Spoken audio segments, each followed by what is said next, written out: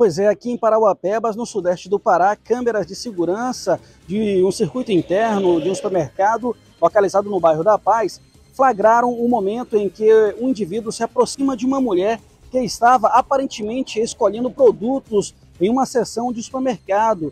As imagens mostram o momento exato que o indivíduo se aproxima, passando por, pela frente dela, como se estivesse fazendo um reconhecimento.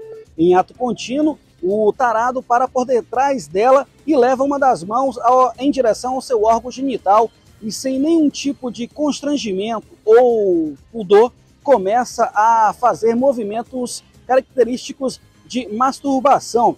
Neste momento, a mulher, percebendo o ato libidinoso, sai do local, mas o tarado não se deu por flagrado.